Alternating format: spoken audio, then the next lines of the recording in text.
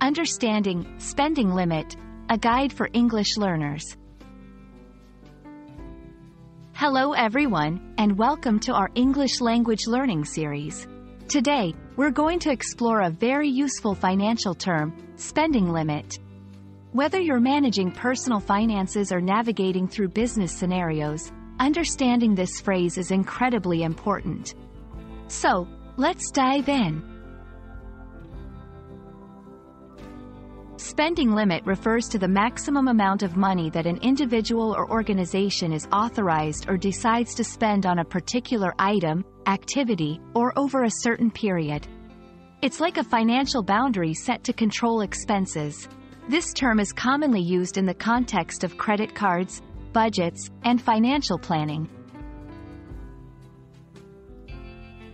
1. Credit cards. Your credit card might have a spending limit of $5,000. This means you can't charge more than $5,000 to the card. 2. Budgeting. When budgeting for groceries, you might set a spending limit of $100 per week. 3. Business. A company might set a spending limit for their employees' travel expenses.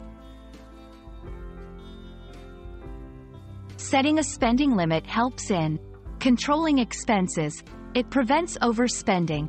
Planning finances. It aids in allocating funds effectively. Avoiding debt, especially important with credit cards, to prevent falling into a debt trap. Exceeding the limit. Spending more than the set limit. Within the limit, spending that stays under the set amount. Limit increase, raising the maximum spending cap.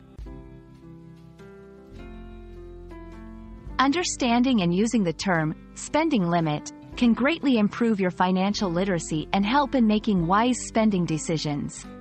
We hope this video has been informative and helpful in your journey of learning English. Stay tuned for more useful lessons, and thank you for watching.